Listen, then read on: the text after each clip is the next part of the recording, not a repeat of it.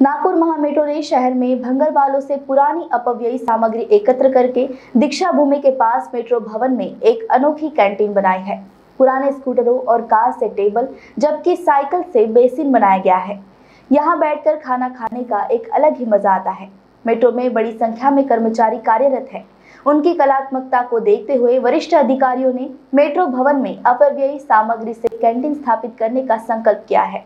Nagpur is famous for संतरे tiger zero mile और साउजी खाना। और साउजी खाने को उसका असली स्वाद देते हैं साउजी मसाले, जिससे बनता है ऑथेंटिक साउजी खाना। मसालों में मसाले, अहिरकर ग्रुप के साउजी मसाले।